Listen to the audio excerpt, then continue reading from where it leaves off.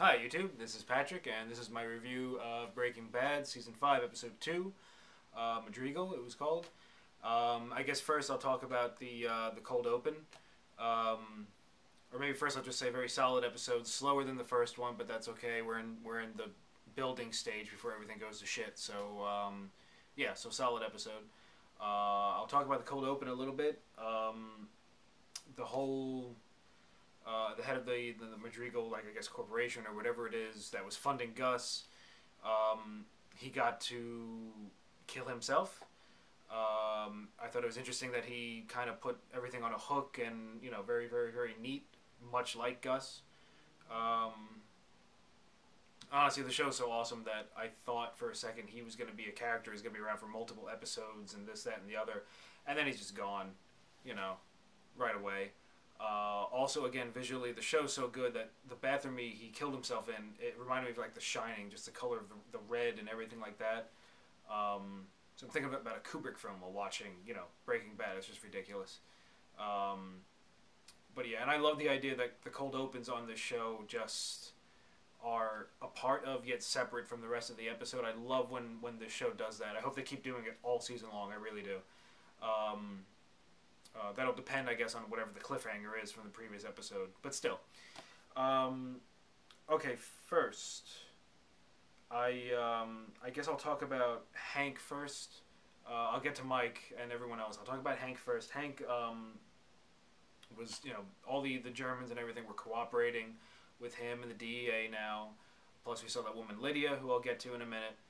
Um, yeah, basically, it's it's nice to see that Hank was right. It sucks that the DEA was stepping, the the one head was stepping down.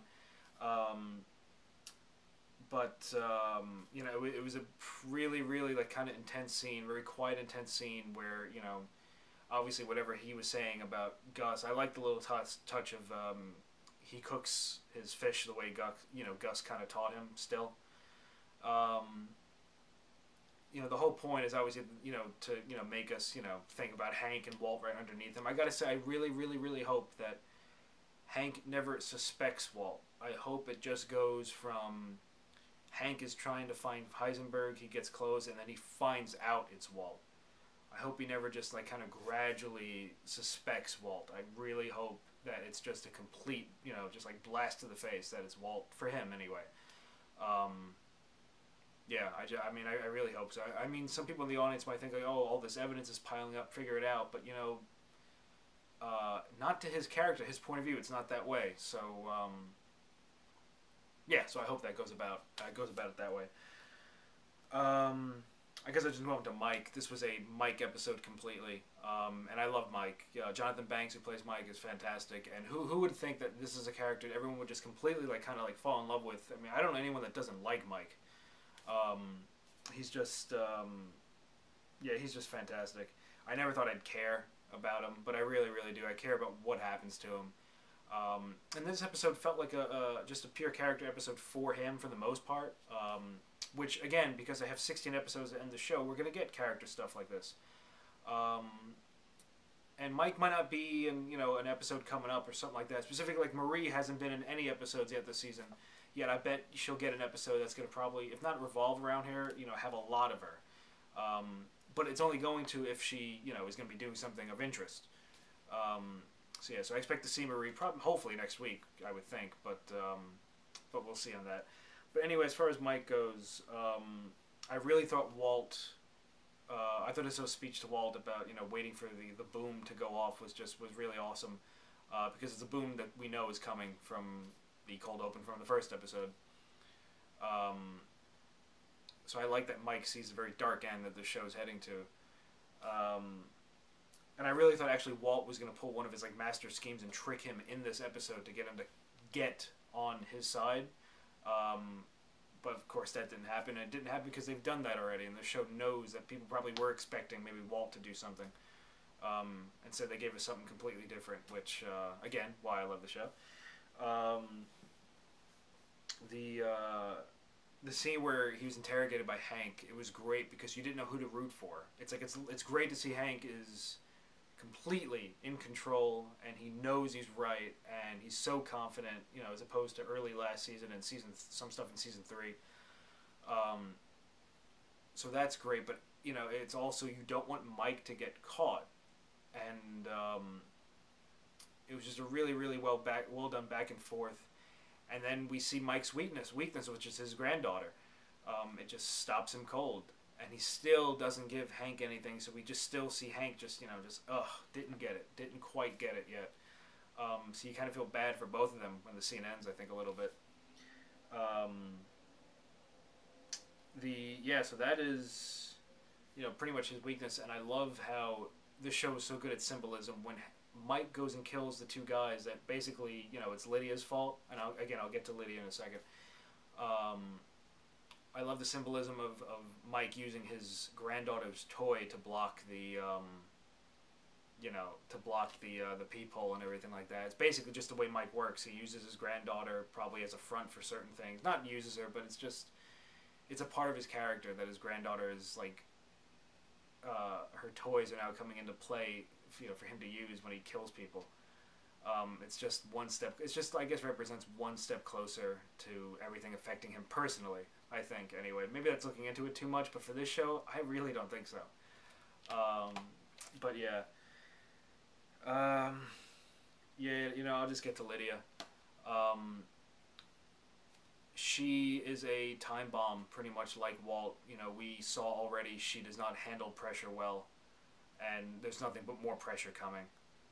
And um, so she's an interesting, interesting, you know, thing that's gonna be thrown into the mix. She's gonna get the ingredients, uh, I guess, for them to cook the method they're gonna need to cook, which. Um, uh, again, I real I honestly I thought the episode was gonna end with Mike killing her, but she's screaming and Mike was gonna have to kill like the little girl. Just because I thought they would do do something really shocking, but again, um, they do something that feels much more natural which is using you know her to get the ingredients that Walt and Jesse need, uh, which is just great as always. Um, but I just love that Mike knows she's unstable, completely unstable, yet he's keeping her around and he's joining Walt and Jesse and everything. And he's just adding, even though he knows he said the, the boom is coming, he, with her, he just added fuel, you know, for that boom to be even bigger. And, um, it's uh, and now he is firmly putting himself in grave danger, and um, you know the whole episode. If someone thought this episode was a little boring or whatever, you know, one you don't get it, and two, I think what happens with Mike in this episode is going to have repercussions for whatever, whatever his fate's going to be, because uh, he chose to stick around. That was the point, and um, so whatever happens this episode um, you know, is the cause of whatever effect is coming.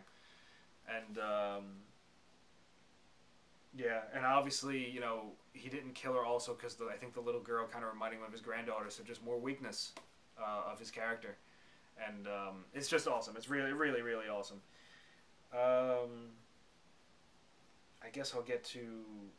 I'll just talk about Walt and Walt and Jesse. Walt hid the real ricin um, which anything with the show we know consequences are coming. He hid the ricin. That ricin will be used at some point before the show ends. Um, so I love that. That's something we have to keep in the back of our heads. That it's gonna, you know, who's gonna get killed by that? Because somebody will.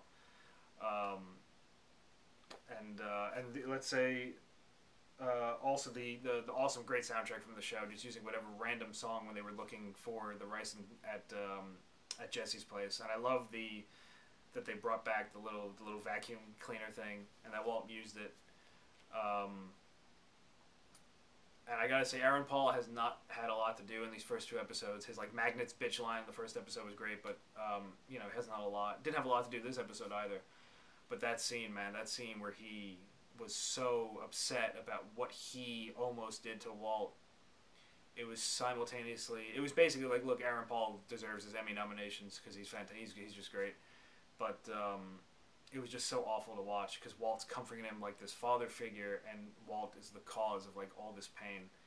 It was such a great, you know, thing where we feel so bad for Jesse, but we hate Walt that much more. Um, and that you know transition to Scarface is, is is just becoming more and more you know apparent with every with every passing scene, and that one that one might have been the worst I think uh, you know of all because we just see how much how badly Jesse just doesn't see it. Um, so yeah, but Aaron Paul was fantastic in the scene. Um, and and even like yeah, Walt talked about cooking again, and Jesse wasn't even interesting. When Jesse Jesse turned like cooking, and he was just you know, he's just gonna follow his lead and just follow him right into hell until he finds out the truth, I guess. So um, so yeah. Then even the scene with Saul, Saul was clearly intimidated by Walt, and Walt's clearly in charge now. Um, that comes off last week's scene, which I did not mention. I'm sorry, uh, in my last week's review. Um, but, uh, but anyway, uh, Walter Jr. had breakfast. Yes.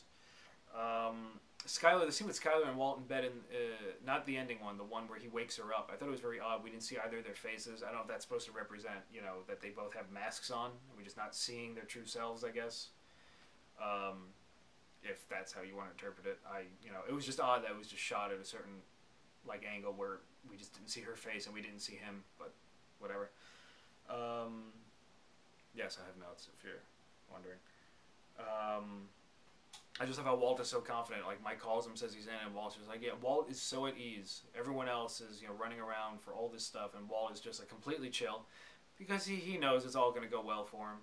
Because how could it go wrong? Except we all know that it's going to go wrong. Um, so it's almost a little more satisfying now. Um, and yeah, I'll just get to the end scene. If I thought that last scene was like chilling, this one was so much worse. It reminded me of the pilot uh, where Walt came in and kind of just you know randomly had sex with Skyler, but that was more comedic. Uh, this wasn't. This was almost near. I, I can't. I you know I don't know if he was about to try to have sex with her, or he was just getting more comfortable with her, where she was getting less uncomfortable, which he should have noticed, by the way. But um, it's just awful. You know, once again, she's just trapped, and um, you know, he's like, oh, it's going, you know, it's going to get easier. Like with everything with Ted, it's like it gets easier for some people like you, people that have it in them. I don't think she does. I think she's going to crumble um, from all this, which could really have repercussions with with Marie and everything else, and with Walter Jr. and all that stuff. So, yeah, I think that's all I got for this one. Really good episode. Looking forward to the next week, as always. Um, yeah, that's it. All right, let me know what you guys thought. And um, yeah, I'll see you next week.